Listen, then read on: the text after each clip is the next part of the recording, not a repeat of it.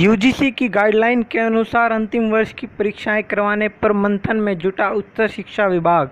नमस्कार दोस्तों, अंतिम वर्ष के छात्रों के लिए यह एक बहुत बड़ी खबर है। तो आइए जानते हैं हरियाणा के उच्चतर शिक्षा विभाग का क्या कहना है।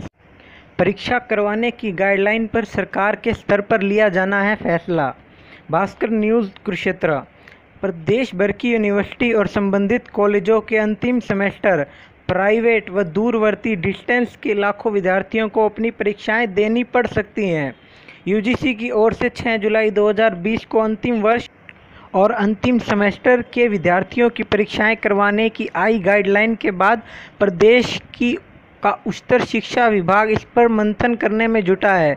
यूजीसी की गाइडलाइन को आए 21 दिन बीत चुके हैं और अभी तक प्रदेश सरकार की ओर से इस मामले को लेकर कोई अंतिम फैसला नहीं लिया है।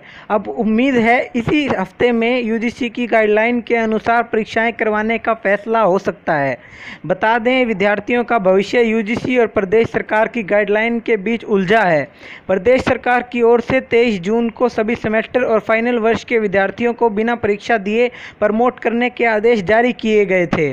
6 जुलाई को यूजीसी और एमएचआरडी की ओर से सितंबर के अंत तक अंतिम वर्ष व अंतिम सेमेस्टर के विद्यार्थियों की परीक्षाएँ लेने के निर्देश जारी कर दिए गए थे। 6 जुलाई को यूनिवर्सिटी ग्रांट कमीशन यूजीसी की ओर से अंतिम वर्ष और सेमेस्टर की परीक्षाएँ सितंबर के अंत तक करवाने की संशोधित गाइडलाइन जारी कर दी गई थी। इस गाइडलाइन में यूजी पीजी के अंतिम वर्ष और अंतिम सेमेस्टर के विद्यार्थियों की परीक्षाएँ लेने की बात कही गई है। गाइडलाइन में कहा गया है कि शिक्षा की गुणवत्ता के लिए परीक्षाएँ आयोजित करना बेहद ज़रूरी है। इसे देखते हुए परीक्षाएँ आयोजित करने का फैसला लिया गया है। यूजीसी की अधि, सूचना के अनुसार लेंगे फैसला। ये कहा है, डॉक्टर बी के कुटियाला ने, जो अध्यक्ष हैं राज्य उच्च शिक्षा विभाग के। आइए जानते हैं हरियाणा उच्चतर शिक्षा विभाग क्या कहता है।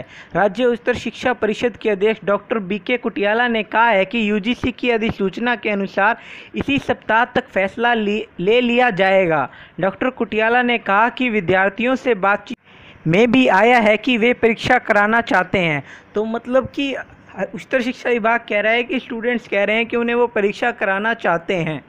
तो आइए जानते हैं इस पर के यू के के यू का क्या कहना है। सरकार के फैसले का इंतज़ार। केयू के लोक संपर्क विभाग के उप निदेशक डॉक्टर दीपक राय बब्बर ने बताया कि यूजीसी की परीक्षा करवाने की गाइडलाइन आने के बाद परिणाम अटक गए हैं। इस बारे में प्रदेश सरकार के स्तर पर फैसला लिया जाना है। अगर सरकार का फैसला सात अगस्त तक नहीं आया तो आवेदन की तिथि बढ़ा दी जाएगी। यहाँ आवेदन की तिथि से एडमिशन की तिथि से मतलब है कि एडमिशन की डेट्स आगे तक सरकार का कोई फैसला नहीं आता है तो के का ऐसा कहना है। इसी के साथ दोस्तों, हरियाणा के अंतिम वर्ष के छात्रों को बहुत भारी झटका लग सकता है। जो निर्णय हरियाणा सरकार ने पहले लिया था, वो बदला जा सकता है। तो ये बहुत एक बहुत बड़ी खबर है। ये थी दोस्तों, हरियाणा उच्चतर शिक्षा विभाग की ओर से सबसे लेटेस्ट खबर। तो इस वीडियो को शेयर कर दो, अपने सभी अंतिम वर्ष के दोस्तों तक पहुँचा दो इस वीडियो को, और चैनल को सब्सक्राइब कर लो, अगली वीडियो जल्द ही आएगी। जय हिंद, जय भारत, धन्यवाद।